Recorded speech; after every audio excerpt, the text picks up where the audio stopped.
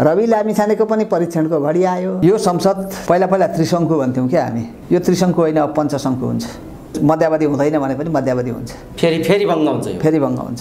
कुनै डिजाइन अन्तर्गत आएका छन् भनेदेखि सरकार बन्दैन। यिनीहरूलाई नाङ्गे झार बनाउनु पर्यो भनेदेखि त त्यो शक्तिले त दुई मिनटमा राष्ट्रिय स्वतन्त्र पार्टी रवि लामिछानेको नेतृत्व भयो। एक खालको त यो त फड्को मारेको हो मान्छेको आकर्षण युवातिर पनि गएको। अर्कोतिर डाइभर्ट गर्नका लागि अब आउने युथ सेन्टिमेन्ट चाहिँ कम्युनिस्ट जनमततिर नलागोस्। भन्नका निम्ति पनि नयाँ शक्तिहरूको उदय भएको हुनसक्छ। यहाँ त खतरा के देख्यो भने पाँच वर्षमा पाँचवटा प्रधानमन्त्री पो हुने हुन् कि भन्ने पाँचवटा पाँचवटा होइन अहिले तपाईँको यो संसद यदि एक्जिस्ट गरेर लिएर जाने पाँच वर्ष चलाउने पाँचवटा पुग्दैन। यो त तर मलाई लाग्छ पाँच वर्ष चल्दैन। र रवि लामिछाने आफै पपुलर भए किनभनेदेखि उनले विभिन्न ठाउँमा धेरै मान्छेहरूको उद्धार पनि गरेका छ तपाईँको यिनीहरूलाई दिने खर्चहरूमा चाहिँ इन्डियनहरू भन्थे यो कुत्तेका खजाना भन्थे है कुत्तेका खजाना भन्ने कुरो यो पछि एक्सपोज भयो। नयाँ आउनेलाई पनि यो चाहिँ खबरदारी हुनुपर्छ। के हो भनेर भन्नुहुन्छ भने नयाँ आउनेले प्रगति गर्नुपर्छ नयाँ विचार लिएर आउनुपर्छ यसमा कुनै दुई मत छैन। तर विदेशी डिजाइनभित्र पसेर अहिले यो खेलभित्र लागेको हो भनेदेखि यो चाहिँ फेरि मुलुकका लागि सबैभन्दा ठुलो ठुलो दुर्भाग्य हुन्छ जनताले बुझेको छैन। यो दुर्भाग्य हुन्छ। यो मुलुकको अस्तित्व रहन्छ भन्ने कुरोमा छैन। एक्लै त चुनाव लड्ने आँट गरेन नि त माओवादीले। गरेको भए के हुन्थ्यो होला? मधेस केन्द्रित दलहरू त उपेन्द्र यादव मोहन ठाकुरका दल कहाँ पुगे आज? अर्को एजेन्डा बोकेर आएको सिकेर राउतले खाइदियो त। प्रमुख प्रतिपक्ष को हुन्छ नेताहरू आफ्ना छोराहरूलाई चाहिँ तस्कर बनाउने। देखिएन र? हँ?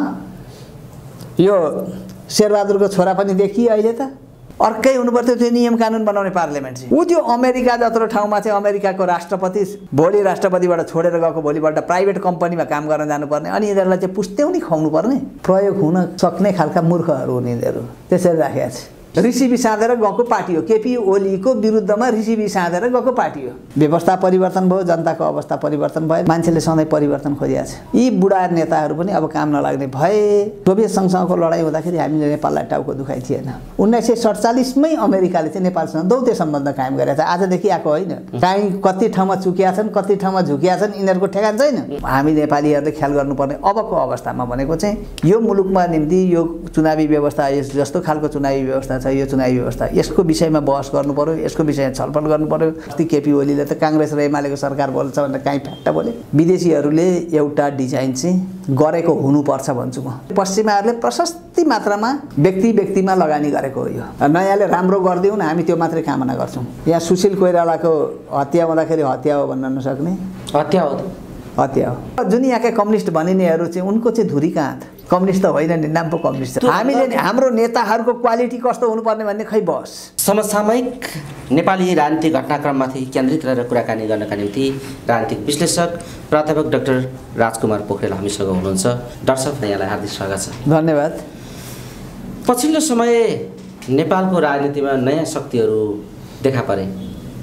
नयाँ पार्टीहरू नयाँ शक्तिको रूपमा अगाडि आए। यसको कारण के होला बताइदिनुहोस् त। एउटा चाहिँ के छ भनेदेखि मान्छे कोही पनि मान्छेलाई के चाहिन्छ भनेर भन्दाखेरि मान्छे व्यस्त भएकोमा मान्छे बेखुस हुँदैन।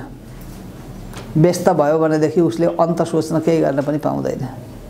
व्यस्त आफ्नै काममा व्यस्त भयो उसलाई खान लाउन पुग्यो प्रशस्त मात्रामा चाहिँ भयो उसको घर परिवार हेर्नका निम्ति त्यति चिन्ता भएन भनेदेखि मान्छेले अर्को ठाउँ सोध्दैन। र दोस्रो कुरो चाहिँ के हो भने मान्छे त्यो भएन भनेदेखि उसले अरू अरू कुराहरू सोध्छ। र मान्छे सधैँभरि के चाहन्छ भन्दा भन्दाखेरि यथास्थितिमा बस्न चाहँदैन परिवर्तन खोज्छ। नेपालमा हरेक समयमा हरेकचोटि परिवर्तनका कुरा आउँछन्। परिवर्तनको एजेन्डा उठाएर राजनैतिक दलहरू गए। राजनैतिक दलहरूलाई पहिलाको अवस्थामा हेर्दाखेरि यी राजनैतिक दलका नेताहरू यस्तो ठाउँमा आइपुग्लान् भनेर त मान्छेले कल्पना गरेका थिएन। छ्यालिस सालभन्दा अगाडि जुन बेला पञ्चायत व्यवस्था थियो यहीँभित्र भएका राजनीतिक दलका नेताहरू त्यतिखेर चाहिँ चप्पल लाएर हिँड्थे। अर्काको जडौरी कोट लगाएर हिँडे अर्काको जडौरी लुगा लाएर हिँडे अर्काको जडौरी जुत्ता लाएर हिँड्ने नेताहरू। अहिले तिनै जडौरी दिनेहरू भन्दाखेरि चाहिँ धेरै माथि पुगेका छन्। धेरै उनीहरूको चाहिँ वर्गीय धरातल माथि उठेर गयो। एकाएक कहाँबाट गयो? अनि मान्छेले त त्यो त सबै देखिया छ मा तर मान्छेको जनताको जीवनस्तर परिवर्तन भएन। कुनै पनि अवस्थामा जनताको अवस्था परिवर्तन भएन। व्यवस्था परिवर्तन भयो जनताको अवस्था परिवर्तन भएन। जुन अवस्था परिवर्तन होला भनेर चाहिँ जनताहरूले पटक पटक आन्दोलन गरे। सधैँभरि आन्दोलन मात्रै गरिरहे गरिरहे। अब छयालिस सालको आन्दोलन सकियो। छयालिस सालको आन्दोलनबाट चाहिँ जुन बेला संसदभित्र विकृति विसङ्गति सुरा सुन्दरीका कहानीहरू पाडो पजेरो जब भित्रियो भित्रिसकेपछि यसबाट चाहिँ मान्छेलाई वितृष्णा जाग्यो ट्याक्स तिर्ने त जनतै हो नि। कर उठाउने त कर तिर्ने त जनतै हो नि त। त्यसबाट चाहिँ त्यसलेबाट कहाँबाट फाइदा लियो भन्दाखेरि माओवादी विद्रोहले फाइदा लियो। माओवादी विद्रोहभित्र चाहिँ के हो भन्ने कुरो त भूमिगत छौन्जेलसम्म त कसैले थाहा थिएन। जब बाहिर देखिसक्यो माओवादी भित्रको विकृति झन् डरलाग्दो देख्यो। मान्छेले चौसाठी सालमा माओवादीलाई सबभन्दा ठुलो पार्टी बनाएर पठायो नि धेरै कुरामा आयो के भन्नु भन्दाखेरि यसले केही नयाँ छ आएर केही गरिहाल्छ कि त? यो विकृति हटाउन पो यसले पहल पो गरिहाल्छ कि त?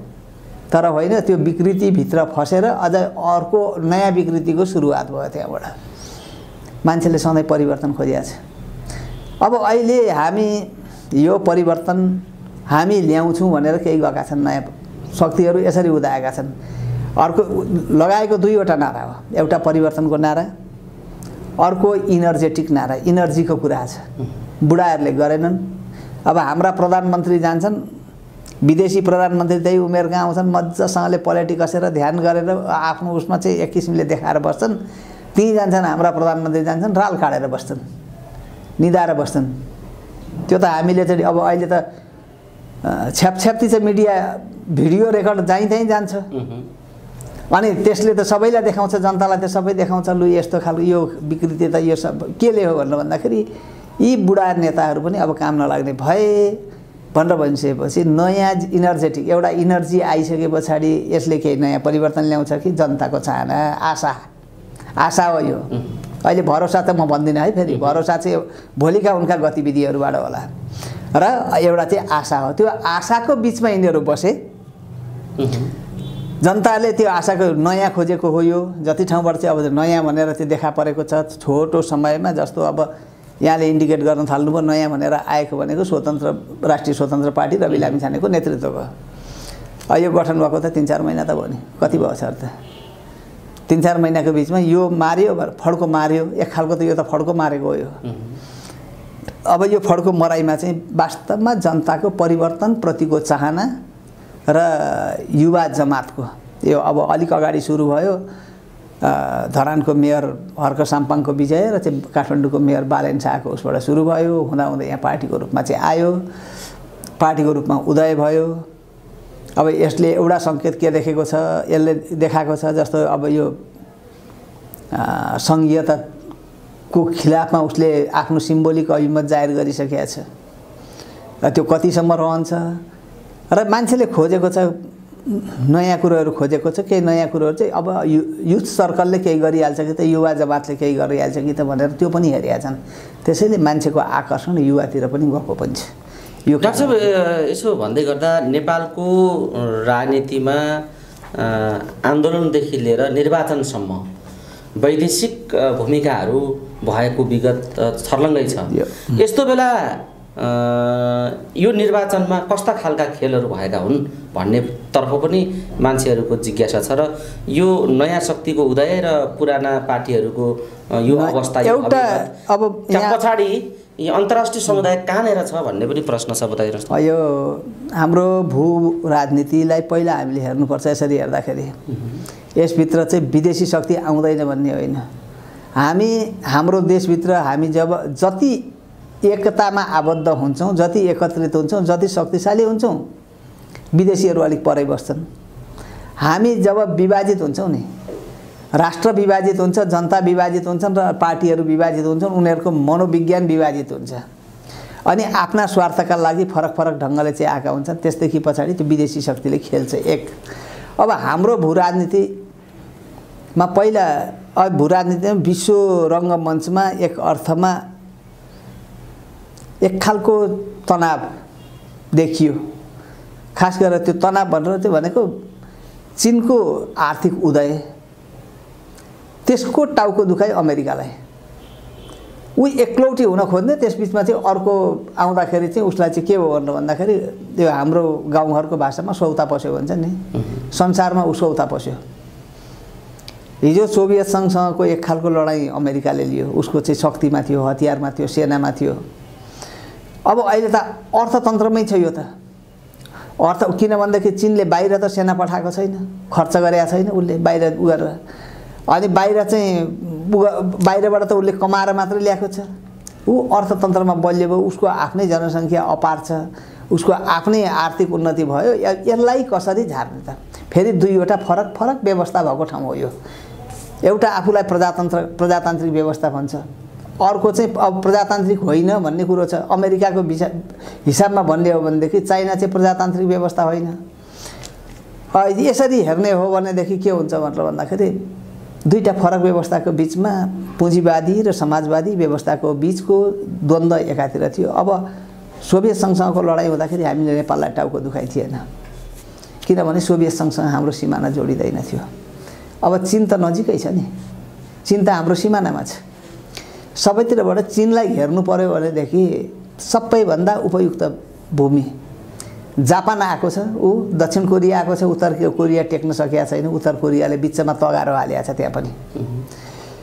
अब ऊ पहिला त्यसरी आउँदाखेरि कोही बेला भियतनाम आयो भियतनामबाट लखेटियो पनि। अब भियतनाम अहिले अर्को तरिकाबाट ऊ आउन खोज्दैछ। अनि अब एमसिसी आदि इत्यादिका कुराहरू विभिन्न कुराहरू चाहिँ आएका छन् यहाँ। एसपिपीको होइन एसपिपीका कुरा एफसिसीमा त छैन होला एमसिसीमा होला त्यस त्यसदेखि पछाडि यतातिर जापान आइपुगेको छ ऊ चाहिँ अब बर्मामा आइसकेको थियो बर्माको सैनिकहरूले आउन दिएनन्। बर्मा त आइसकेको थियो आङसान सुकीलाई चाहिँ हुँदाखेरि बर्मा पनि आइसकेको थियो घेर्न आइसकेको थियो। अब एमसिसी एस अब यो साउथ यो के अरे पेसिफिक यो इन्डो पेसिफिक स्ट्राटेजी भएपछि ऊ इन्डियाको बाटो भएर चाहिँ नेपाल छिर्नका निम्ति खो आएको हो यो। हुन त अमेरिका आज आएको होइन। जुन बेला यहाँबाट बेलायती साम्राज्य हट्यो दक्षिण एसियाबाट खास गरेर भारतबाट बेलायती साम्राज्य हट्यो ठिक्क उन्नाइस सय सडचालिसमा बेलायती साम्राज्य हट्यो उन्नाइस सय सडचालिसमै अमेरिकाले चाहिँ नेपालसँग दौत्य सम्बन्ध कायम गरेको छ आजदेखि आएको होइन।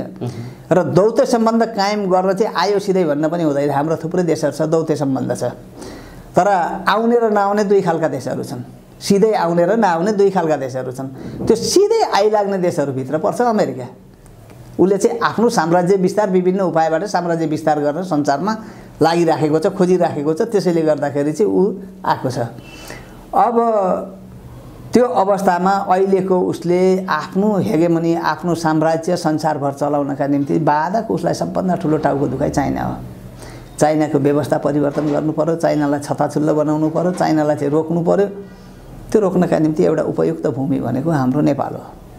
र नेपालको नेपाल उसले टेक्नु पर्दाखेरि नेपालको राजनीतिमा टेक्ने हो नेपालको उसमा आउने किन? यो राजनीतिमा अगाडिदेखि नै आइसक्यो जस्तो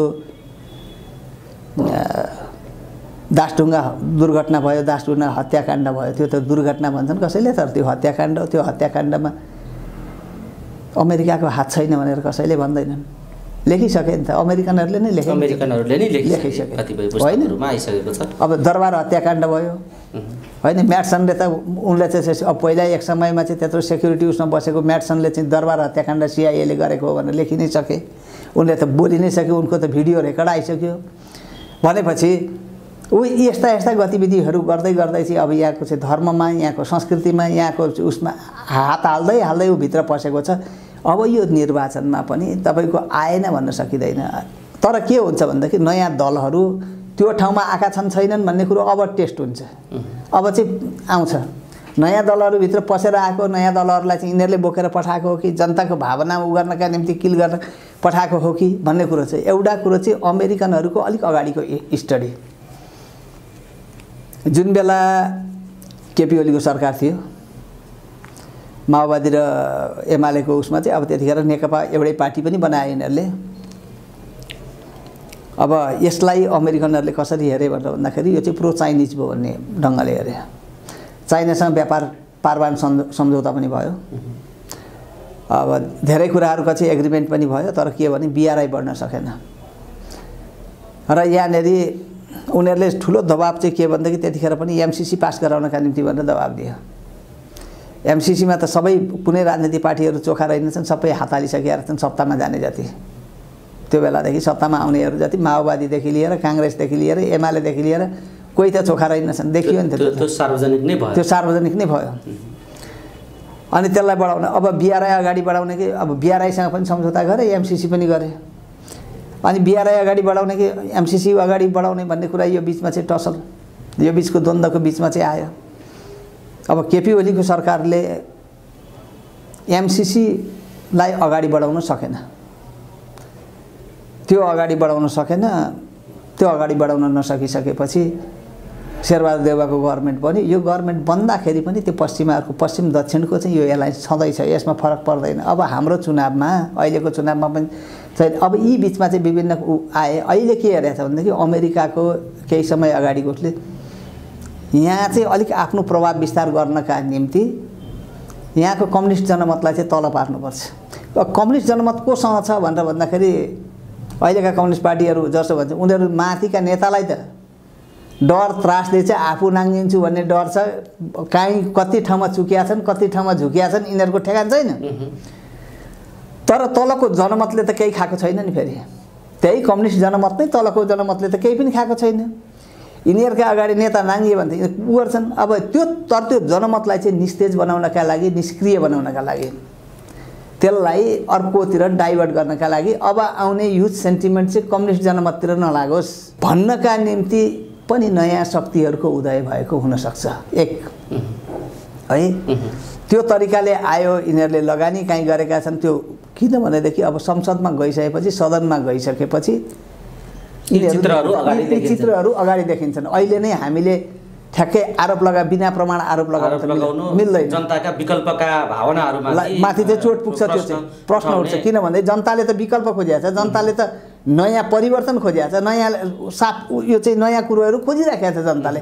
पुरानाले पु- नयाँ दिन सकेनन्। सकेन। यिनै पुरानाले समय सापेक्ष जनताको भावना चलेर करप्सन नगरिकन भ्रष्टाचार नगरिकन काम गरिदिएको थियो भन्दै त जनताले त नयाँ खोज्ने थिएन नि त। अनि बाहिरका विदेशी शक्तिहरूले चाहिँ यहाँ हेर्ने मौका पाउँथ्यो विदेशीको चाहिँ दुई पैसा भए पनि हेर्ने।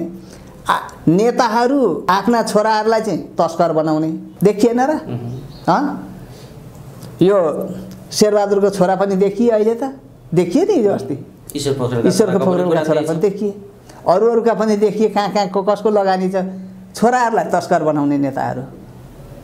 अब कोही चाहिँ कहीँ गएर विदेश पढाउन पठाउने। अब विदेश पढाउन पठाउँदाखेरि विदेशीसँग झुकेर पठाउने। आफ्ना छोराछोरीलाई पढाउनका निम्ति। अनि अब त्यो त सबै देखिन थालिसकेपछि उनीहरू त झुक्छन् चुक्छन् के गरिरहेको छ अब पहिला यो यिनीहरूलाई दिने खर्चहरूमा चाहिँ इन्डियनहरू भन्थे यो कुत्तेका खजाना भन्थे है? कुत्तेका खजाना भन्ने कुरो यो पछि एक्सपोज भयो। अनि कता कता हामीले पनि भन्न थाल्यौँ यो चाहिँ यिनीहरू बाहिर दिने कुरा चाहिँ यो देखिँदैन अरे कुत्तेका खजाना। किनभने त्यस्तै एम्बेसीहरूले फेरि प्रत्येक व्यक्तिको फरक फरक कोड नाम राखेको हुँदो रहेछ। टेकनेम उनीहरूले आफूले बुझ्ने टेकनेम राखेको हुन्छ त्यो कोड नेम। प्रत्येक प्रत्येक नेताहरूको। नेताहरूको। छ। तपाईँलाई म एउटा कुरो भनौँ जुन बेला चाहिँ महाकाली सन्धि भएको बेलामा यहाँ आन्दोलन चलिरहेको थियो उभइराखेको थियो आएको थियो नि। अब एकजना नेपाली काङ्ग्रेसका मान्छेले नेपाली काङ्ग्रेसको ग्रुप त्यहाँभित्र इन्डियन एम्बेसीभित्र कोही चाहिँ छिर्दै थियो। एमालेको पार्ट ऊ चाहिँ एम्बे इन्डियन एम्बेसीबाट बाहिर निस्किँदै थियो। त्यतिखेर प्रोफेसर विमल प्रसाद भारतीय राजदूत। उनी चाहिँ बा उनी चाहिँ त्यहाँ भन्दै रहेछन् अब माधव नेपाल बाहिर निस्किँदै गरेको अर्को कोही चाहिँ त्यहाँभित्र छिर्दै। अनि एकजना चाहिँ पछि उसले सुनाउँथे मलाई सुनाए बाई द वे भेट हुँदाखेरि माधव नेपालले चाहिँ त्यहाँ त तुङ भन्दा रहेछन् भनेर भने। विमल प्रसादले सोधेछ तुङ गया है? आउट गया है? भनेर सोधे यसै गरी के भनेर भनेछ? अनि को रहेछ तुङ? भनेर बुझ्न खोजेको त भरे चाहिँ माधव नेपाल रहेछ भरे त्यहाँ जाने अर्को नेतालाई चाहिँ त्यसै गरेर अर्को नाम राखिएको छ। उनीहरूले नाम राखिएको छ। त्यहाँ दिने पैसा कुत्तेका खजाना भनेर अब यो यसरी चाहिँ उनीहरूले आफ्नो कोड नेम राखेको हुँदो रहेछ। पछि बुझ्दै जाँदाखेरि चाहिँ त्यो कोड नेम राखेको छ प्रत्येकमा। अनि पश्चिमाहरूले जस्तो अमेरिकन दूतावास लगायत युरोपियन युनियनहरूको चाहिँ अर्को एउटा उनी छ तपाईँको डिक्सनेरी हेर्नु भने भेटिन्छ। पोलिटिकल्ली युज गर्ने शब्द एउटा छ। Useful idiots. प्रयोग हुन सक्ने खालका मूर्खहरू हुन् यिनीहरू। त्यसरी राखेको छ कुत्तेका खजाना दिने मान्छे कोही खाना खाने एउटा त भयो। अर्को चाहिँ यो युजफुल इडियट्स अरे। तपाईँ डिक्सनेरी पल्टा म त डिक्सनेरी पल्टाएर हेरेँ यो कहाँबाट आयो? केही राइटरहरूले लेखहरूमा लेखेका छन् युजफुल इडियट्स भनेर। मलाई त खुल्दुली लाग्यो भरे हेर्दाखेरि त युजफुल इडियट्स भनेको त त्यसरी युजफुल अब लाग्यो होला केपी ओली भन्दाखेरि पनि बढी युजफुल इडियट्स चाहिँ शेरबहादुर देउबा देखे पश्चिमाहरूले चेन्ज गरे। अदालत प्रयोग भएको छ हाम्रो सबै कुरो प्रयोग भएको छ। यी कति थाम्छन्? मलाई हिजो अस्ति अब एउटा रवि लामी छानेको एउटा फ्याट्ट बोलीमा आउँथ्यो हामी पुरानासँग बसेर सरकार बनाउँदैनौँ सरकारमा बस्दैनौँ भनेर भने। अनि जनताले त खोजेको पनि त्यही हो फेरि। नयाँ कुरो खोजेन हो। ठ्याक्कै भ्यू त कसरी जाने अगाडि के जाने भन्ने भ्यू त आइसकेको छैन त्यो पार्टीको पनि फेरि। एक्सपोज भएर चाहिँ यो यो हामी यसरी चाहिँ जान्छौँ भन्ने त छैन। पुरानाका विरोध गरेर मात्रै आएको छ अहिले त। र रवि लामिछाने आफै पपुलर भए किनभनेदेखि उनले विभिन्न ठाउँमा धेरै मान्छेहरूको उद्धार पनि गरेको छ तपाईँको कोभिडको बेलामा हस्पिटल चलाएर कोभिडको उपचार पनि गरायो त्यो मान्छेले। त्यसैले गर्दाखेरि त्यो मान्छे पपुलर छ। हो। कि। उनले जिते पनि। उसले जिते पनि। होइन? उनको त्यो सामाजिक कार्यहरूलाई हामीले आलोचना गर्ने बेला भइसकेका छैन। त्यो चाहिँ भनेपछि डाक्टर साहब अब उनीहरूले तर तर? काहीँ काहीँ अब प्रयोग उनलाई उनले यो कसरी म्यानेज गरिराखेका छन् भन्ने कुरो चाहिँ पारदर्शिता उनले कतिको देखाउन सक्छन् र यसमा कति आउँछन् भोलि केही भयो भने त चार त उनलाई पनि लाग्छ फेरि एउटा कुरो हो। अब म अर्को तपाईँको यो भित्र आउने शक्तिको विषयमा अलिकति कुरो गर्छु जस्तो राप्रपा हो। राप्रपाले आफ्नो एउटा एजेन्डा बोक्यो। हामीलाई संवैधानिक राजतन्त्र चाहियो अथवा चाहिँ सेरेमोनियल राजतन्त्र भए पनि राजतन्त्र चाहियो।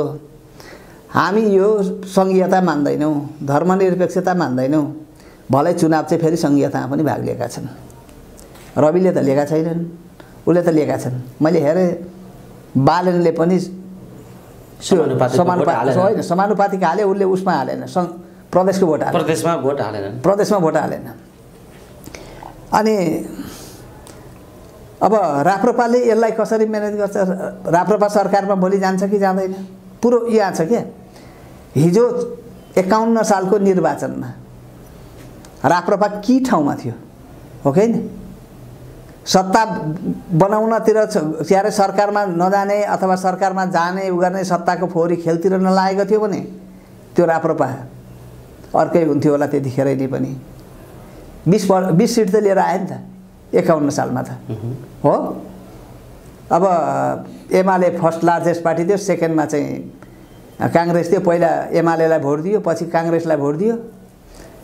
अनि पहिला चाहिँ एमालेसँग बसेर एमालेलाई चाहिँ उ गरेर चाहिँ सपोर्ट गर्यो बाहिर बसेर सपोर्ट गर्यो पछि काङ्ग्रेससँग बसेर सरकारै बनायो पछि फेरि एमालेसँगै बसेर सरकार बनायो।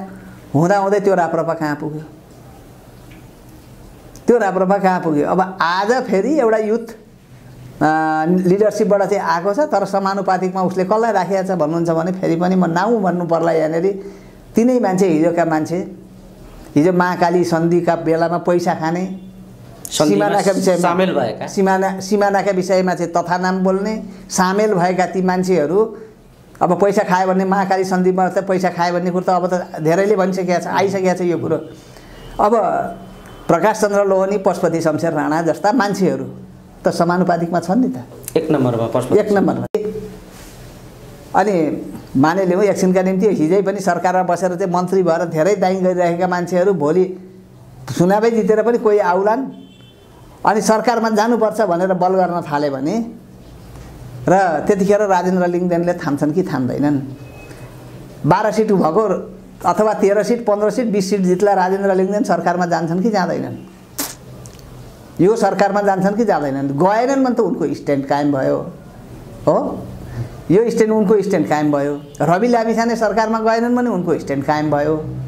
सरकारमा गइसके पछाडि सरकारमा गएर अर्काको नेतृत्वमा काम गरिसकेपछि उनले काम कति गर्न सक्छन्? पहिलो कुरो त यो सर हाम्रो संविधानले दिएको कम्पोजिसनमा सरकार बनाउनु पऱ्यो नि। बहुमतको सरकार बनाउनु पऱ्यो नि। अनि बहुमतको सरकार बनाउनु त एक सिङ्गल पार्टीको सरकारमा नजानाले हिजो राजेन्द्र लिङ्गदेन एक्लै थियो सरकारमा गर्दाखेरि अन्तिममा उसले एक्लै सदन छोडेर हिँडेपछि सदन त्यो चाहिँ चुनावसम्म जाने सदन चाहिँ बनाउने जान लैजानलाई खोजिया सदन विघटन गर्नु पऱ्यो नि त। होइन प्रतिनिधि सभा। ऊ एक्लै बोल्यो नि त मैले त आजदेखि छोडिदिएँ मेरो नैतिकताले भएर। त्यो नैतिकता सो गर्छन् कि गर्दैनन् भोलिका दिनमा। यो स्थिति उनीहरू अब यो बेला उनीहरूको पनि परीक्षणको घडी आयो। रवि लामिछानेको पनि परीक्षणको घडी आयो राजेन्द्र लिङ्गदेनको पनि परीक्षणको घडी आयो। यो अवस्थामा उनीहरू बाहिर बस्यो भने सरकार त फेरि पहिलो र दोस्रो पार्टीले चाहिँ सरकार बनाउनु पर्ने हुन्छ। अनि त पुग्दैन। पहिलो यो गठबन्धनबाट पुग्छ कि पुग्दैन अहिलेको सत्तारूढ गठबन्धनबाट? मलाई जहाँसम्म लाग्छ अहिले नै अवस्था यो आकलन गरिहाल्ने अवस्था चाहिँ छैन तर पुग्छ होला जस्तो लागेको छैन। हो? किनभनेदेखि काङ्ग्रेस एमाले तपाईँको हेर्नु सत्तामा जाने जाने हुँदै हुँदै सत्तैको खेल खेल्दा खेल्दै चाहिँ मधेसवादी दल कहाँ पुगे? मधेस केन्द्रित दलहरू त उपेन्द्र यादव मोहन ठाकुरका दल कहाँ पुगे आज? अर्को एजेन्डा बोकेर आएको सिकेर राउतले खाइदियो त। त्यहीँभित्र गए आयो। हो कि? हिजो त्यहाँबाट चाहिँ त्यत्रो आन्दोलन गर्ने पाहाडे जनमतलाई चाहिँ लखेटे त्यहाँ छुट्टै राज्य बनाउने कल्पना गरेर चाहिँ उनीहरू हिँडे। खाइदियो त आज त। त्यहाँबाट पनि खाए त। काङ्ग्रेस एमाले नै फेरि पनि आउँदाखेरि त जितेरै आयो त्यो त। त्यहाँबाट पनि जितेर आएका छन् नि त। गठबन्धन त फेरि कि काङ्ग्रेससँगै गर्नुपर्दो छ कि एमालेसँगै गर्नुपर्दो रहेछ तिनले पनि। नभए त हैसियत त पुग्दो रहेनछ त। अब यिनीहरू राष्ट्रिय पार्टी हुन्छन् हुँदैनन् हेर्न बाँकी नै छ। अब त त्यहाँ छ। भनेपछि यो अवस्थामा अब यिनीहरू अब यिनीहरूको फर्दर के काम गर्छन्? फेरि पनि सरकारमा गएर कमाउनेतिर लाग्लान्। त्यो कमाउने मधेसवादीहरू चाहिँ कमाउनैका लागि गएका दुई चारवटा सिटमा कमाउनैका लागि गएका उनीहरू समेत सामेल भएको दलमा यदि रवि लामी छानेर राजेन्द्र लिङ्गदेनहरू पनि पस्यो भने तिनीहरूको पनि अनि चाहिँ अर्कोचोटि खोज्न जानुपर्छ तिनीहरूलाई। खोज्न जानुपर्छ र उनीहरूको सेन्टर कता हो भन्ने सेन्टर कता हो। त्यो पनि पत्ता लाग्छ। त्यो पनि पत्ता लाग्छ। डाक्टर साहब यो यो यो ठिक छ। अनि पछिल्ला अनि सरकार बनाउने भनेको पहिलो र दोस्रो दल हो। यो चाहिँ संसदीय पार्लियामेन्टमा इथिकल हुन्छ नैतिक हुन्छ प्रमुख प्रतिपक्षको हुन्छ। पहिलो र दोस्रो दल सरकारमा बस्ने अनि तेस्रो दल प्रमुख प्रतिपक्ष हुने तर प्रचण्ड त निर्णायक तेस्रो शक्ति म हुँ भनिरहेछन्। सुन्नुहोस् न। उनले त प्रतिपक्षी मै हुँ भन्ने भाषा त बोलिसके तेस्रो भएर पनि। होइन प्रतिपक्ष प्रतिपक्ष नै हुँदाखेरि त्यसको अर्थ के लाग्छ? प्रतिपक्षले भूमिका कतिको कतिको खेल्न सक्छ? त्यो प्रतिपक्षले कतिको खेल्न सक्छ। होइन? अब प्रतिपक्ष भयो भएर चाहिँ गयो भोलि ऊ चाहिँ कमाउन सक्छन् है अलिकति। आफ्नो गुमेको साख उठाउन चाहिँ सक्छन्। किनभने सत्ता गयो भने सक्दैनन्। सत्ता गएन भनेदेखि सक्छन्। अहिले त सत्तामा जाने भएर नसकेन हो। उनका मान्छे मान्छन् कि मान्दैनन् त पहिला। सत्तामा नगइकन बस्न सक्छन् कि सक्दैनन्? पहिलो कुरो त्यो हो। त्यहाँ गएर टिक्न सक्ने कि नसक्ने? अनि अब यहाँनिर म पहिलो पहिलो दल काङ्ग्रेस हुन्छ दुई चार सिट बढी ल्याउँछ एमाले भन्दा। दोस्रो दल एमाले हुने भयो लक्षण अहिलेको चुनावले देखाइसक्यो। पहिलो र दोस्रो दलको चाहिँ बिचको चाहिँ चुनाव हो भने। उनीहरूले हिजो आफूले गरेका कर्महरूको लागि त प्रमाणित गर्नु पऱ्यो नि? पर परेन। प्रमाणित गर्नु पऱ्यो केपी ओलीले संसद विघटन हुन्छ भनेर प्रमाणित गराउनु पऱ्यो पर परेन। हिजो चाहिँ विघटन गरेर गरेको। शेरबहादुर देउवाले संसद पाँच वर्षसम्म विघटन हुँदैन भनेर चलाउनु पर्यो। पर परेन। केपी ओलीले चाहिँ असंवैधानिक सङ्घर्ष संसद विघटन गरेको हुनाले हामी यो चाहिँ संविधानभन्दा विपरीत संविधानले त पाँचै वर्ष चला भनेर भन्यो अरे नि त ल। भनेपछि शेरबहादुरले सरकार टिकाउन लाग्नु पर्यो। केपी ओलीले भत्काउन लाग्नु पर्यो। यदि यो हो भनेदेखि त्यो त प्रमाणित गर्नु पर्यो आफूलाई स्थापित गर्ने हो भनेदेखि।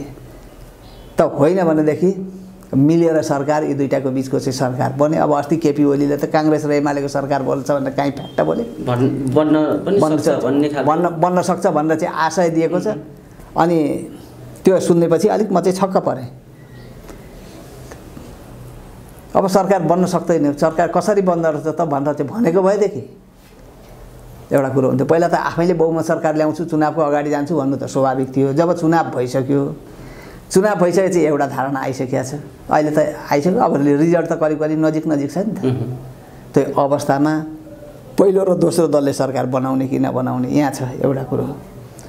यो गठबन्धनको बहुमत पुगे गठबन्धन त जान्छ जाँदैन। सबै गठबन्धन जाने कि नजाने। अब किन भनेदेखि यहाँ चाहिँ चुनाव अब यहाँनिर तपाईँले अघि सोध्नुभएको छ मलाई विदेशी खेल भनेर। म भन्दै थिएँ त्यहाँनिर म यो स्ट्राटेजिकल्ली नेपालको जनमतमा कम्युनिस्टहरूको जनमत अहिले पनि सबै कम्युनिस्टहरूको चाहिँ भोट काउन्ट गर्ने हो भने त्यो बढी छ। अहिले पनि बढी छ यो चुनावमा पनि बढी छ त्यो त हेरिया छ। र यसपल्ट स्ट्राटेजिकल्ली विदेशीहरूले एउटा डिजाइन चाहिँ गरेको हुनुपर्छ भन्छु म। खास गरेर त्यसलाई निर्देशित गर्ने त्यो गाइड गरेको चाहिँ कुनै चाहिँ काङ्ग्रेसको लेभलभित्र चाहिँ त्यो गरिएको छ। के हेरिया छ भनेर भन्नुहुन्छ भनेदेखि यो भनिसक्यो लेफ्टहरूको चाहिँ मेजोरिटी लेफ्टहरू एलायन्स गऱ्यो भनेदेखि लेफ्टहरूको मेजोरिटी नपुगोस् भनेर चाहिँ हेरिया छ। त्यसैले माओवादीसँग एलायन्स गरेका छ समाजवादीसँग काङ्ग्रेसले एलायन्स गरेका छ। उसले सुरुमा खोज्यो नि सय सिट। सय सिट हुँदै हुँदै पछि चाहिँ केही तल झरेर उसले एग्रिमेन्ट गर्यो। तर त्यो कम्पोजिसनभित्रबाट उसले आउने प्रयास के गर्यो भनेर भन्नुहुन्छ भने माओवादी र समाजवादीको सिटहरूलाई चाहिँ अब जनताले भने त के गर्न भन्न पाइयो तर घुमाइ फिराइ कतिपय ठाउँमा। कतिपय ठाउँमा त भित्री भित्री तालमेल एमालेसँग पनि गरेका छ काङ्ग्रेसले। एमालेसँग तालमेल गरेका ठाउँमा एमाले सुत्या छ। जस्तो मोरङको दुई क्षेत्रमा मैले सुनेको मोरङको दुई क्षेत्रमा एमाले र काङ्ग्रेसको बिचमा तालमेल भयो एमाले सुत्यो काङ्ग्रेस उठ्यो। अनि यहाँ चाहिँ माओवादी र समाजवादीसँग गरेको तालमेलमा पनि माओवादी समाजवादी केही सुते भोट हालेनन् नि। काङ्ग्रेसले भोट हालेन काहीँ केही नभइकन हाल्यो त। म तपाईँलाई ठाउँमै किटेर भनिदिन्छु माओवादीलाई भोट हालेन झापाको क्षेत्र नम्बर दुईमा काङ्ग्रेसले। हालेन हालेन। हेर्नुहोस् यहाँ। हो कि? त्यो पहिला त त्यो फिफ्टी पर्सेन्ट भोट पनि आएन। त्यो त प्रष्ट देखिया छ। त उदाहरणका लागि मैले त्यो त्यस्तो देखेँ कतिपय ठाउँमा त्यो छ। किन भनेर भन्दाखेरि ठाउँमा यही भयो। आउँदाखेरि त आउँदाखेरि त फेरि पनि यही एलायन्स गर्नु पऱ्यो नि त। फेरि पनि त्यो जनमतलाई त लिइराख्नु पऱ्यो नि त। सरकार बनाउनु त यसैलेसँग लिएर जानु पऱ्यो यो चाहिँ अब अलिकति आउँदाखेरि के दुई चार सिट माओवादीको बढ्थ्यो होला दुई चार सिट समाजवादीको बढ्ने बित्तिकै यिनीहरू छुटे भोलि काङ्ग्रेससँग चाहिँ उ गर्न गयो। अब यहाँ चाहिँ अमेरिकन अमेरिकन प्रेसर बढी पर्दा पर्दै चाइनिजहरूले पनि खेल्न थाल्यो भने चाहिँ चाइनिजहरूले चाहिँ कम्युनिस्टहरूलाई एकता गरिदिने हुन् कि भन्ने डर तिनीहरूलाई पनि छ नि त फेरि। छैन र? चाइनिजहरूले दबाब पो दिने हुन् कि? हिजो त चाइनिज राजदूतलाई काहीँ आरोप लागेको पनि हो। होइन? त भनेपछि यो खेल्यो भन्दै त कम्युनिस्टहरूको चाहिँ फेरि मेजोरिटीबाट चाहिँ कम्युनिस्टहरूको सरकार पो बन्ने हो कि? काङ्ग्रेस प्रतिपक्ष यहाँ बस्नु हो भने त चाइनिज पावर चाहिँ हाबी हुने हो कि यहाँ भन्ने कुरो? बाह्य जगतलाई विदेशी पश्चिमा जगतलाई यो पनि छ। त्यसले गर्दाखेरि त्यो एकदम क्यालकुलेसन गरेर यो लेफ्टहरू मात्रै एमाले तल अलिक तल झर्ने बित्तिकै अलिक तल झऱ्यो भनेदेखि र माओवादी पनि अलिक तल झऱ्यो अरू नयाँ शक्तिहरू आए। अनि यो बिचमा पऱ्यो भने त लेफ्ट युनिटी त हुँदैन अब। थुप्रै तपाईँको चाहिँ युथ सेक्टरभित्रका कम्युनिस्ट जनमतहरूले चाहिँ नयाँलाई दिएको छ। हो त्यो चाहिँ यस्तो- खालको छ। यो खालको चित्र जुन तपाईँले राखिदिनु भयो नि प्रष्ट ढङ्गले। यस्तो हुँदाहुँदै पनि एमाले केही एमालेको केही साइज घट्ने कुरा स्वाभाविक थियो गठबन्धन भएको हुनाले। तर माओवादी चाहिँ पत्ता साफै हुने कल्पना त गर्न गरिएको थिएन। तर यहाँ माओवादी पत्ता साफै भएको स्थिति भयो। यो कसरी भयो बताइरहनु एक- या सु- सुन्नुहोस् एउटा कुरा। माओवादी पत्ता साफ कसरी भयो? माओवादी योभन्दा अगाडि लेफ्टहरूको बिचको एलायन्स थियो माओवादी कहाँ थियो? म तपाईँलाई यहीँबाट क्वेसन सोध्छु। योभन्दा अगाडि एमालेसँगको एलायन्स माओवादीको थियो। त्यो त चुनाव भइसकेपछि पार्टी एकता बनाएर नेकपा बनाएका नै हुने नेकपा फुटाइदियो। एमाले र माओवादी छुट्टै बन भनेर चाहिँ अदालतले भनेको छ। अदालतलाई त्यो भन्नका निम्ति कुन चाहिँ संविधानमा कहाँ लेखिएको छ? उसले संविधानको व्याख्या गर्नुपर्ने होइन। कानुन व्याख्या गर्नुपर्ने होइन। जब बनाइसक्यो निर्वाचन आयोगमा दर्ता भयो निर्वाचन आयोगमा विवाद भयो कसैले मुद्दा हाल्यो। मुद्दा हाल्दाखेरि तिम्रो नाउँ परिवर्तन गरेर आऊ पो भन्छ त। अदालतले त्यही होइन। तिम्रो नाउँ स्वाइट स्विट भएन। उ उपयुक्त नाउँ जुराएर आऊ भनेर भन्छ। तिमी माल एमालेर चाहिँ माओवादी भएर आऊ भनेर त भन्दैन नि। के बनाउनु पर्छ त्यो उनीहरूको कुरो हो। एउटा बनाएर लिएर आउने उसले यति समयभित्र समय तोकेर दिन्छ। यो हामी बिचमा हाम्रो राज्य संयन्त्रभित्र पश्चिमा जगतको प्रभाव पश्चिमाहरूले खेलेको एउटा कुरो चाहिँ पश्चिमाहरूले प्रशस्ति मात्रामा व्यक्ति व्यक्तिमा लगानी गरेको हो यो। प्रोजेक्टहरूमा लगानी गरेको छ धेरै ठाउँमा चाहिँ लगानी गरेको छ अदालत प्रभावित छ त्यसबाट अरू शक्तिहरू अरू क्षेत्रहरू प्रभावित छन् हाम्रो ब्युरोक्रेसी प्रभावित छ। अब भन्दै लानु पर्दाखेरि राज्य संयन्त्र थुप्रै प्रभा- प्रभावित छ यसमा अरू धेरै बहस नगरौँ। अनि तपाईँको अर्को कुरो चाहिँ के हो भनेर भन्नुहुन्छ भनेदेखि मूल रूपमा यो मैले अघि भन्दैछु यो जनमतलाई चाहिँ डाउन गर्नका निम्ति। अब नयाँ शक्तिहरू चाहिँ उदाएका छन् नयाँ शक्ति नयाँ तरिकाबाट गएका छन् आएका छन्। यो शक्तिहरू कसरी जान्छन् भोलि होइन। यिनीहरू विशुद्ध यिनीहरू नयाँ आउने शक्तिहरू जुन राष्ट्र नै मात्रै हो हाम्रो भनेर चाहिँ आए भनेदेखि एकचोटि देशभक्तहरूले त्यस ठाउँमा चाहिँ ट्याकल गर्छन् त्यो जान्छ अगाडि जान्छ त्यो अगाडि जान्छ। त्यस दोस्रो कुरो त्यो ढङ्गले अब नयाँको विषयमा हामी अहिले धेरै बहस नगरौँ। नयाँ चाहिँ अब टेस्ट हुन बाँकी नै छ। बाँकी छ। नयाँले राम्रो गरिदिउँ न हामी त्यो मात्रै कामना गर्छौँ। र दोस्रो कुरो के हो भनेर भन्दाखेरि अहिले जुन भएका ठुला शक्ति छन् नि राजनैतिक शक्तिहरू पुरानाहरू यो पुराना शक्तिहरू चाहिँ विभिन्न बाह्य जगतबाट चाहिँ यिनको लिडरसिप यिनको नेतृत्व खेलिसकेका छ। त्योभन्दा दायाँ बायाँ गएर यिनीहरू हिँड्न सक्ने स्थिति छैन यहाँ त देखाइसक्यो नि त। ए यहाँ सुशील कोइरालाको हत्या हुँदाखेरि हत्या हो भन्न नसक्ने? हत्या हो हत्या हो। हत्या हो भन्न भन्न नसक्ने? तपाईँको एउटा भूतपूर्व प्रधानमन्त्री पार्टीको सभापति लागिया छ घाइते भएको छ हस्पिटल लान किन गाडी पाउँदैन ट्याक्सी पाउँदैन एम्बुलेन्स पाउँदैन काहीँ त्यस्तो हुन्छ? यसको पछाडि के छ डाक्टर साहब हत्याको कुरा आइहाल्यो अलिकति। यो नयाँ दलहरू। त्यसमा माओवादी किन पत्तासाप भयो भन्ने तपाईँले म भन्दैछु त्यहाँ है। यसमा सुशील सुन्नुहोस्। कोइराला चाहिँ जोडिनु सुन्नु मैले त्यहाँ जोड्दैछु। तपाईँको दासढुङ्गा दुर्घटना भयो तलको कार्यकर्ताहरूले बल गरे लिडरसिपलाई लगेर चाहिँ आन्दोलनमा चोबले। लिडरसिप त जान चाहेको होइन त्यतिखेर पनि। त्यो बेलाको एमाले लिडरसिप आन्दोलनमा जान चाहेको होइन। अन्तिममा सम्झौता गर्ने बेलामा एमालेको नेतृत्व मात्रै गरेर सरकारसँग सम्झौता गर्यो। जहाँ जहाँ कि त्यो चाहिँ संयुक्त वाम आन्दोलन थियो। है?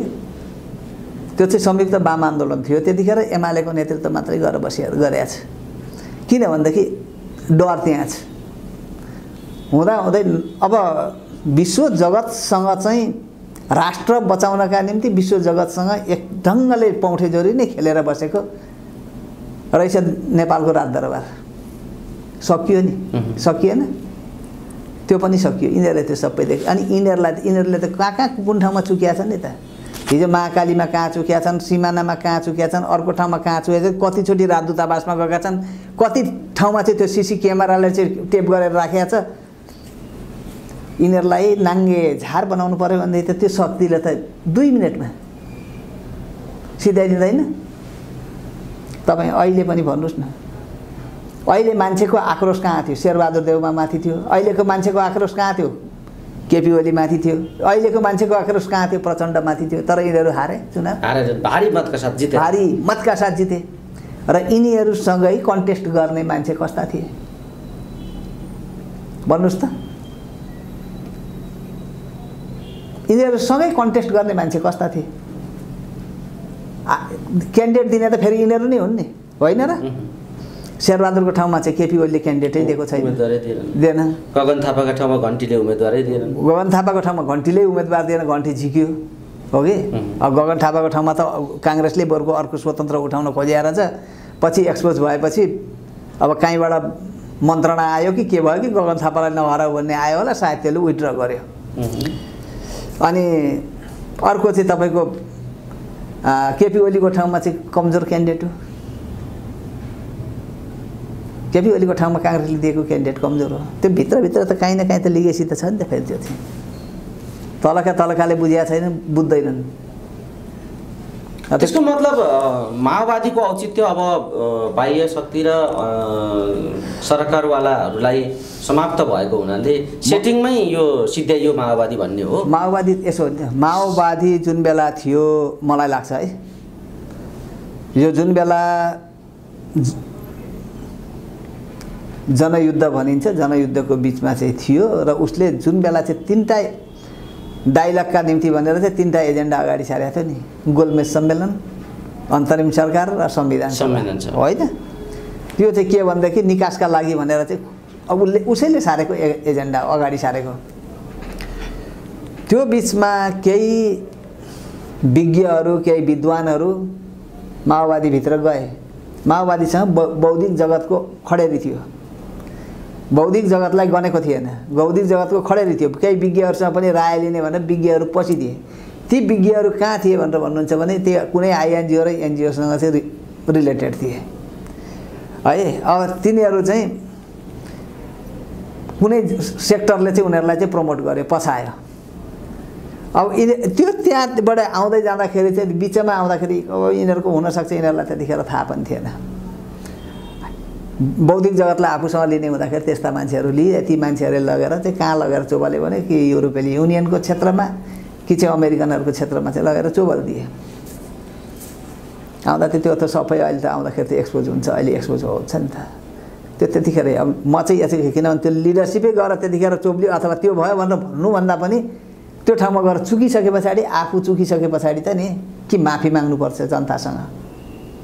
म यहाँनिर चुकेँ भनेर बिस्तारै उच्च अब तँलाई यो गरिस् भने यहाँ नङ्गाइदिन्छु भनेपछि यो लिडरसिप बोल्दैन नि त।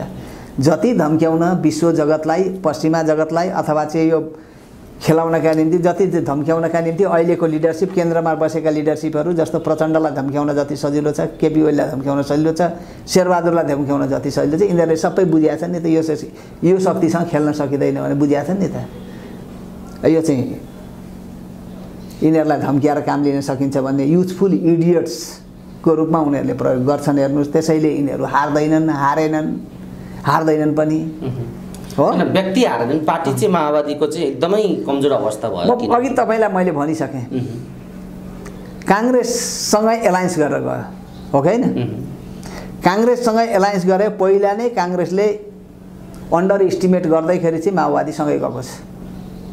काङ्ग्रेसलाई सबैभन्दा लार्जेस्ट बनाएर सबैभन्दा माथिल्लो सङ्ख्याको सिटमा दिएर उसले चाहिँ एलायन्स गरेर गएको छ। एक्लै त चुनाव लड्ने आँट गरेन नि त माओवादीले। गरेको भए के हुन्थ्यो होला? किनभने म कहीँ कहाँ छु म चाहिँ केही छु म उसको आफ्नो क्यालकुलेसनै गर्न सकेन नि त। उसले जित्नुपर्ने कसको थियो भनेर भन्दाखेरि काङ्ग्रेसको समेत भोट पाएर जित्नुपर्ने थियो। हो कि हो? समाजवादी भनेको चाहिँ अब कसैको निर् कसैले निर्देशन भित्रबाट निर्देशन दियो होला चाहिँ पार्टी फुट्यो होला।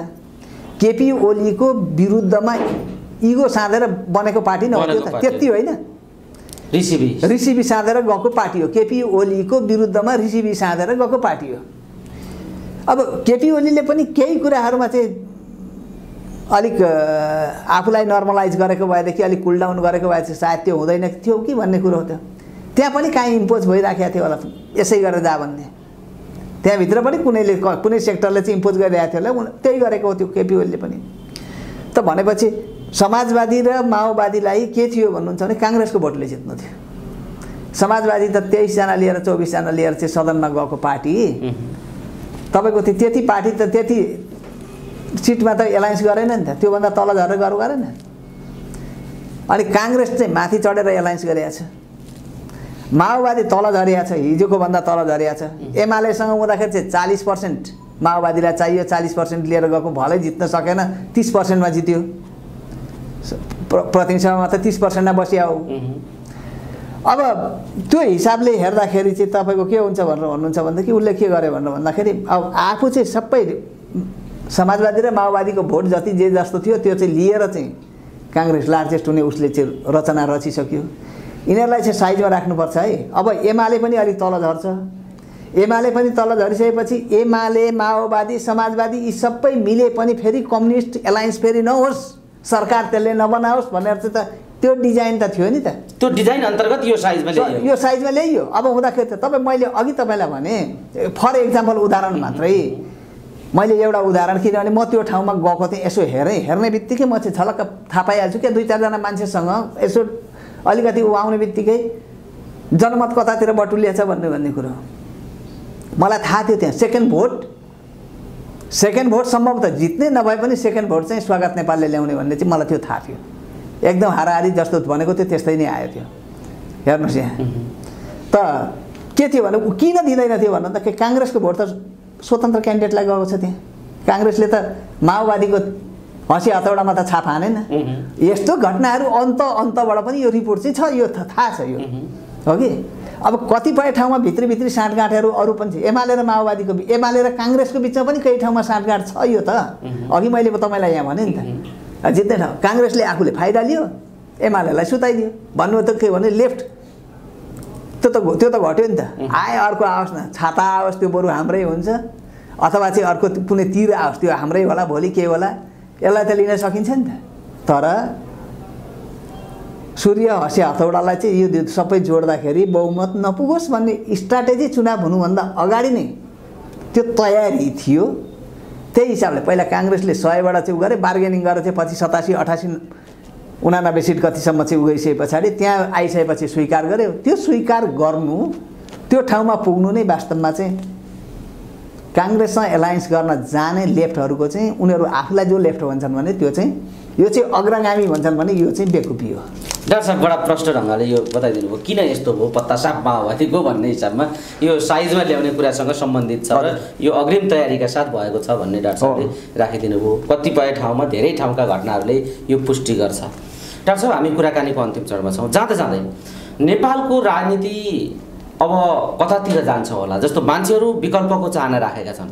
भोट हाल्ने मान्छेहरू निर्दोष छन्। खेलमाथि जेसुकै होस् तर निर्दोष मानिसहरूले परिवर्तनको आकाङ्क्षा राखेर भ्रष्टाचार यो अनियमितता यी दलका बेइमानी यिनका परिवार यिनका नातागोता पोस्टे धन्दा यी कुराबाट मुक्त हुन चाहेको हो नेपाली समाजले नेपाली नागरिकहरूले भन्ने सन्देश यो मतदानमा गएको छ। ओलीजीका त किचन क्याबिनेटका सबै मान्छे नै उतार्नु परेका छन्। अहिले हारे। अरे होइन? त्यस कारणले जनताले साँच्चै मुक्ति खोजेको हो परिवर्तन खोजेको हो भन्ने कुरा जनताको निर्दोष मत चाहिँ परिवर्तनका पक्षमा देखियो।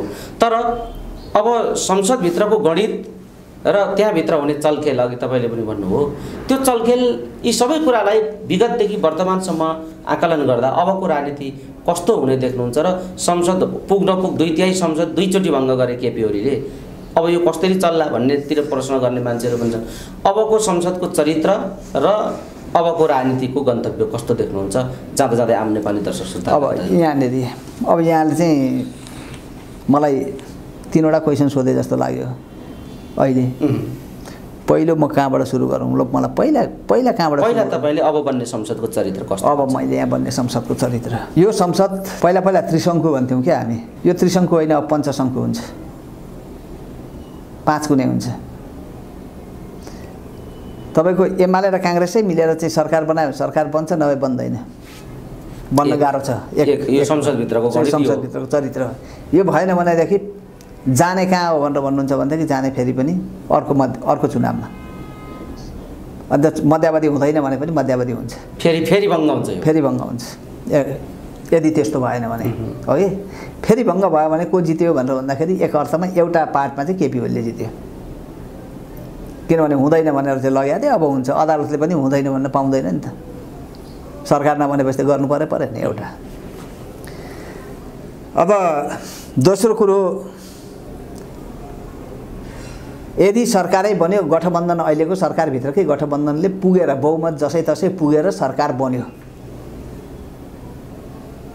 अघि जसै तसै पुगेर सरकार बन्यो एकछिनका लागि। भनेदेखि यो त्यो सरकार कति रहन्छ? त्यो सरकार कति रहन्छ? किन भन्दै त अर्कोले पनि अर्कातिरबाट तान्न थाल्छ नि त। अनि सरकार ढाल्नका निम्ति खेल सुरु हुन्छ। यो विकृति त चरम विकृति हुन्छ यहाँनिर। सरकार ढाल्नका निम्ति र बनाउनका निम्ति चाहिँ हुन्छ। अनि अलिकति साइड गर्नु पर्यो अब साँच्चै अहिले आएका नयाँ शक्तिहरू जुन छन् यो कुनै डिजाइन अन्तर्गत आएका छन् भनेदेखि म तपाईँलाई यति नै। कुनै डिजाइन अन्तर्गत आएका छैनन् भने यिनीहरूको खेल सफा सफेट हुन्छ। यो चाहिँ एउटा इमोसनल्ली नै जान्छ. कुनै डिजाइन अन्तर्गत आएका छन् भनेदेखि सरकार बन्दैन। सरकार बन्दैन किन अर्थमा बन्दैन भन्नुहुन्छ भनेदेखि यो यिनीहरू ठिक ढङ्गले चाहिँ नदेखिने गरी बुझेर गयो भने मान्छेको सेन्टिमेन्ट त मान्छेले त अहिले पनि त्यो खोजिएको छ नि। खोजिएको छ कि छैन? होइन? त्यो खोजेको अवस्थामा तपाईँको कस्तो अवस्थामा चाहिँ म एकछिन स्वतन्त्र पार्टी आउँदाखेरि कस्तो अवस्थामा आएको छ भनेर भन्दाखेरि अलिकति शङ्का गर्नुपर्ने कुनै ठाउँहरू देखिन्छ कि। नेपाली काङ्ग्रेसको महाधिवेशन लगत्तै पछि राप्रपाले के क्रेज लियो। मान्छे त ठुला नेतालाई गाली गर्दाखेरि जनताले रुचाउँदो रहेछन् हेर्नुहोस्। नेताहरू गयो भने चोर हुन्छन् भने त्यति बोले होइन राजेन्द्र लिङ्गदेन। त्यति बोलेको। त्यति बोले हो नि त। त्यसले ठ्याक्कै क्रेज लिएर माथि पुगेको थियो। स्वतन्त्र पार्टी आइसकेपछि यो खास गरेर काठमाडौँ महानगरपालिकाको चुनाव र चाहिँ यो चाहिँ धरान- आइसके आयो, निकायको चुनाव। आइसके पछाडि चाहिँ जुन बेला स्वतन्त्र पार्टी भन्यो नि स्वतन्त्र स्वतन्त्र भनेर भन्दा भन्दै पार्टी नै उसले स्वतन्त्र बनायो। उसले त्यो चाहिँ आफ्नो लागि त बुद्धि पुर्याएको हेर्नुहोस्। अब स्वतन्त्र पार्टी भन्यो उसको क्रेडलाई चाहिँ डाउन गर्यो। उसको बढ्दै गरेको क्रेडलाई चाहिँ डाउन गर्यो। हो कि? अब यिनीहरूको बिचमा कस्तो खालको तालमेल हुन्छ यो अब अब चाहिँ हेर्न बाँकी छ। र यदि कुनै डिजाइन भ अन्तर्गत आएको हो भनेदेखि त पुराना पार्टीहरू विस्थापित गरेर यसलाई अझै ठुलो बनाउनका निम्ति फेरि चुनाव हुन्छ। अर्को चुनाव भयो भनेदेखि त अझ धेरै मत ल्याउँछ हेर्नुहोस्। किनभने एक्सपोज भइसक्यो हुँदैन नि। जन जनताको बिचमा त एक्सपोज भइसक्यो हुँदैन अनि जनताको सेन्टिमेन्ट चाहिँ त्यतातिर गइसकेपछि अरू धेरै एक्सपो भएपछि अरू धेरै ल्याउँछ। पुरानालाई सरकार चलाउन सकेनन् भन्ने त आउँछ। स्थिति फेरि बढ्दै जान्छ अनि त्यो पुरानाले चाहिँ बनाउन सकेनन् भन्ने आइसक्ने बित्तिकै त फेरि बढेर जान्छ। अनि सरकार चाहिँ के हुन्छ अर्को के हुन्छ भने अझै बढाएर लिएर जान्छ उसले शक्ति। यदि ऊ छ भनेदेखि अब यिनीहरूलाई पनि यिनीहरूलाई पनि प्रेसर आउँछ। पुरानालाई पनि प्रेसर आउँछ त्यदि त्यस्तो हो भनेदेखि तिमीहरू सरकार नबनाऊ भन्ने प्रेसर आउँछ। सरकार नबनाउनका निम्ति चाहिँ यिनीहरूभित्र पनि खेल सुरु हुन्छ। अब तपाईँको काङ्ग्रेस त एउटा वेमा चाहिँ छ तपाईँको पश्चिमाहरूको डिजाइनमा काङ्ग्रेस चल्छ उसको आशीर्वादमा चल्छ इम्प्रेसन छ उसलाई चाहिँ त्यतैतिर छ। अब जुन यहाँका कम्युनिस्ट भनिनेहरू चाहिँ उनको चाहिँ धुरी कहाँ त? न चाइनाको विश्वास पाउन सके न अमेरिकाको विश्वास पाउन सके न चाहिँ इन्डियाको विश्वास पाउन सके। उनको धुरी कहाँ? समस्या छैछ नि पार्टी नफुटाइकन बसेको त चाइनिज सपोर्ट अहिले पनि रहन्थ्यो होला। उसले त भनेको थियो नफुटाऊ भनेर त भने नि अहिले पनि रहन्थ्यो होला। यहाँ कम्युनिस्टहरूको आफ्नो धुरी क्लियर छ क्लियर छैन। कम्युनिस्ट होइनन् नि त। कुरो त यहाँ भयो नि त। कम्युनिस्ट त होइन नि। नाम पो कम्युनिस्ट त। ठिकै छ। बोकेको छ त्यो। कम्युनिस्ट पार्टी भनेको हुनाले अनि- बोल्दा कम्युनिस्ट पार्टी भन्नुपर्छ भन्नु पऱ्यो त्यो त्यो अनि त्यसले गर्दाखेरि त तपाईँको यहाँ थुप्रै मान्छेहरू चाहिँ त्यहाँभित्र पसेका थुप्रै मान्छेहरू चाहिँ अब विदेशी पैसामा चाहिँ बसिया छन् कतिपय त त्यही ढङ्गले दृश्य अदृश्य युजफुल इडियट्सहरू कति छन् यो चाहिँ उनीहरूले नै जान्ने कुरा हो।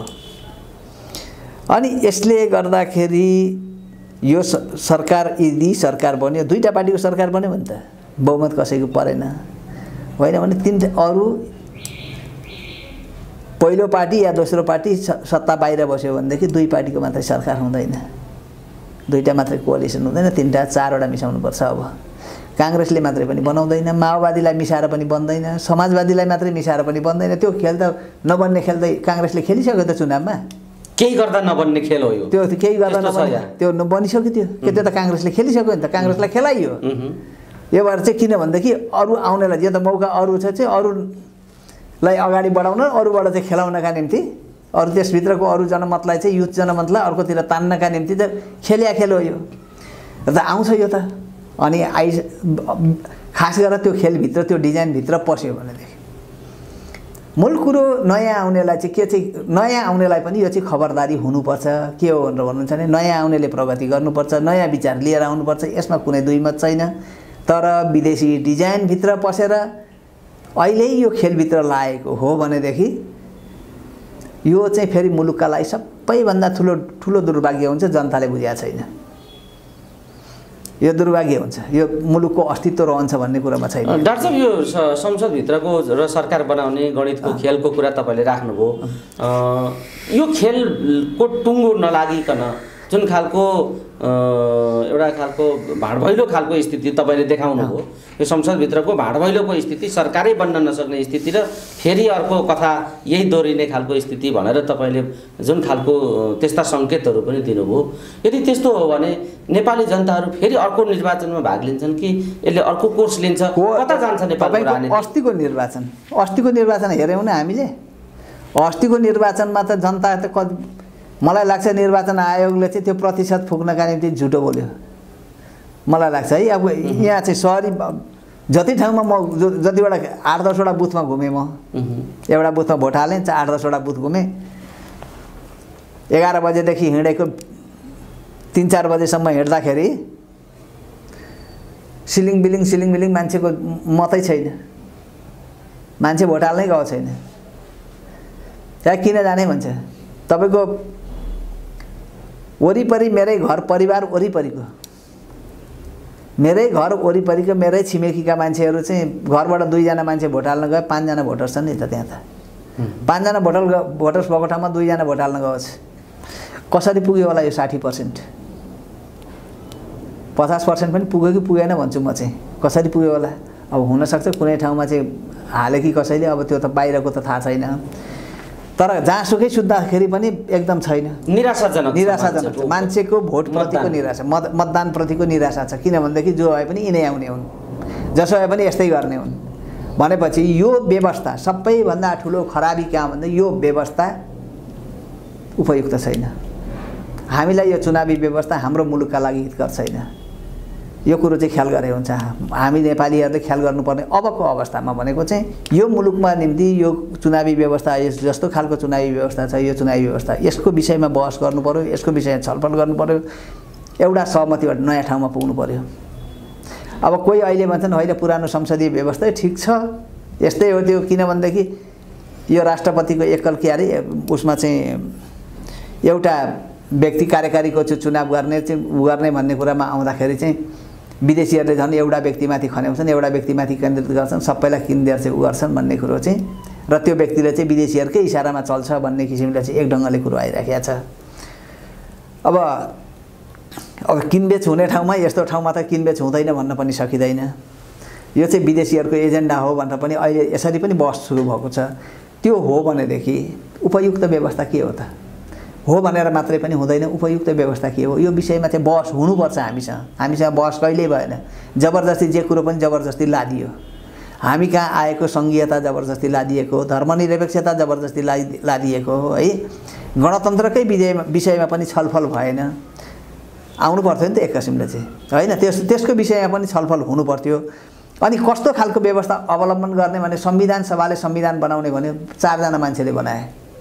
संविधान सभामा हुइप लाउनु हुँदैन थियो चारजनाले अँधारा कोठामा अँधारा कोठामा बसेर लेखिदिएको पढेर पढेर। तपाईँको त्यो चाहिँ किन। भनेदेखि होइन त्यो त जनता जनताबाट चाहिँ मत कलेक्सन गर्नु पर्थ्यो संविधान सभामा बसेर छलफल गर्ने होइन जनताबाट आफूले कलेक्सन गरेर आएका प्रतिनिधिहरूले आफ्नो मत कलेक्सन गरेर लिएर जानु पर्थ्यो त्यो त मत कलेक्सन गर्न जानु जानु पर्थ्यो क्या तिनीहरूले त्यो मत सुझाव पनि पोका कहाँ छन् अहिलेसम्म अनि त्यो। त्यो लिएर आएर चाहिँ बसेर मेरोमा यस्तो आएको छ सल- सल्लाह भने तिनीहरूले त्यहाँ चाहिँ बहस गर्नु पर्थ्यो हो कि? संविधान सभाको भएन। संविधान सभाले चाहिँ नियम बनाउने होइन कानुन बनाउने होइन नि। त्यो नियम कानुन बनाउने पार्लियामेन्ट चाहिँ अर्कै हुनु पर्थ्यो अर्कै हुनु पर्थ्यो त्यो नियम कानुन बनाउने पार्लियामेन्ट चाहिँ। त्यतिखेरको तत्कालीन अवस्थामा कानुन चलाउने पार्लियामेन्ट अर्कै हुनु बनाएका थिए त त्रिसङ्घको तिनजना तिनवटा पार्टीका पार्लियामेन्ट बनाए यिनीहरूले। त्यो पार्लियामेन्ट त्यत्रो पनि चाहिँदैन थियो। दस बिसजना पच्चिस तिसजना चाहिँ चालिस पचासजना मानेले बढीमा सयजनासम्मको चाहिँ एउटा पार्लियामेन्ट त्यतिखेरै बनाएको भए पनि हुन्थ्यो। त सकेसम्म यहाँ सबैलाई राजनीतिज्ञ हुनुपर्ने सबैलाई जनताको उठेको करबाट चाहिँ पैसा खानुपर्ने। खानुपर्ने संविधान सभाको निर्वाचनलाई नि संसदको बनाइ गरेर बनाइदिनु पर्ने अनि सबैलाई त्यो। उनीहरूलाई जागिर हुनुपर्ने यसको लागि हो कि? पोलिटिक्स राजनीति भनेको सेवा कि लुट लुट्ने हो। पहिलो कुरो यहाँनिर छ। लुट्ने हो होइन राजनीति ऊ त्यो अमेरिका जत्रो ठाउँमा चाहिँ अमेरिकाको राष्ट्रपति भोलि राष्ट्रपतिबाट छोडेर गएको भोलिपल्ट प्राइभेट कम्पनीमा काम गर्न जानुपर्ने। अनि यिनीहरूलाई चाहिँ पुस्त्याउनी खुवाउनु पर्ने। जनताको यहाँको चाहिँ त्यहाँको आय स्रोत कत्रो छ हाम्रो आय स्रोत कत्रो छ। यो कुरो त देखिया छैन र। अनि हामीले कस्तो खालको व्यवस्था अवलम्बन गर्ने भन्ने खै हाम्रो विषयमा त्यो- हामीले हाम्रो नेताहरूको क्वालिटी कस्तो हुनुपर्ने भन्ने खै बहस। हाम्रो विदेश नीतिको विषयमा खै हाम्रो बहस हाम्रो सुरक्षा नीतिको विषयमा खै हाम्रो बहस यहाँ त खतरा के देख्यो भने पाँच वर्षमा पाँचवटा प्रधानमन्त्री पो हुने हुन् कि भन्ने पाँचवटा पाँचवटा होइन अहिले तपाईँको यो संसद यदि एक्जिस्ट गरेर लिएर जाने पाँच वर्ष चलाउने पाँचवटा पुग्दैन। यता तर मलाई लाग्छ पाँच वर्ष चल्दैन। डाक्टर साहब यो एउटा छ कि तर ठ्याक्कै चाहिँ बताइदिनु त तपाईँले जोड्दा जोड्दै यता हामीले फेरि ध्यान केन्द्रित गऱ्यौँ। अबको राजनीति यो नचले चलोस् नचलोस् यो आएको छ यो खालको एउटा जन्मिएको छ अब यसले कस्तो गति लिन्छ हुर्किन्छ बढ्छ कि यो विघटन हुन्छ कि फेरि के हुन्छ भन्ने कुरा पछि घटनाक्रमले देखाउला। तर यी जुन आकलनहरू अहिले भएका छन् यसले नेपालको राजनीतिलाई कता धकेल्छ अब? ठ्याक्कै छोटकरीमा कता अस्थिरता एउटा कुरो चाहिँ मु- एउटा खतरा के आउँछ भन्नुहुन्छ भने मुलुकको सार्वभौम सत्ता मुलुकको स्वाधीनता मुलुकको अखण्डता रहन्छ कि रहँदैन एउटा चिन्ताको विषय छ यहाँनिर। उहुँ। किनभने मान्छेको मन डाइभर्ट भयो विचार डाइभर्ट भयो विदेशीहरूले खेल्न थाले भित्रबाट कुनै उसबाट चाहिँ त्रुपेटबाट खेल्न थाले भनेदेखि यो अवस्थामा सबैभन्दा खतरा पर्ने भनेको चाहिँ सार्वभौमिकता हो। यो अखण्डता राष्ट्रिय अखण्डता हो। र मान्छे जब जनमत युनाइट हुन्छ खास गरेर हाम्रो राजनीति एकत्रित हुन्छ सङ्गठित हुन्छ। बाहिरको विदेशको हेर्नुहोस् सबै कुरामा उनीहरू पार्टी पार्टीको बिचमा फरक फरक धारणा हुन्छ तर जब देशको मामला आउँछ नि देशको मामला आउँदाखेरि एक ठाउँमा उभिन्छन् उनीहरू। चाहे जुनसुकै पार्टीमा जानु त्यही इन्डियामा हेरौँ न हामी नजिकै छौँ नि। उसको राष्ट्रियताको मामलामा राष्ट्रिय अखण्डताको विषयमा चाहिँ कसैले बोल्यो भने सबै पार्टी एकै ठाउँमा आउँछ। हामी चाहिँ किन नआउने? हाम्रो खोइ त्यो पोलिसी एउटा भ्यू बनाउनका निम्ति हामी कहाँ सक्दै? अब हेरौँ नयाँ आउनेहरूले यतातिर काहीँ पहल गर्छन् कि त? गरेनन् भनेदेखि त काहीँबाट चाहिँ गोटी बनेर जान्छ। यो चाहिँ राष्ट्रिय अखण्डतामाथि खतरा हो एउटा। अब यसले अर्को पनि सङ्केत गर्छ। कि मुलुक कोल्याप्सतिर जान्छ? कि होइन भनेदेखि यसले आमूल परिवर्तनको दिशातिर फड्को मार्छ विद्रोहको बाटो विद्रोहको बाटो राजनीति त्यतातिर मोडिन्छ। मोडिन्छ सक्छ। हवस् डाक्टर साहब अमूल्य समय दिनुभयो। यो महत्त्वपूर्ण समय र संवादका लागि यहाँलाई धेरै धेरै धन्यवाद छ।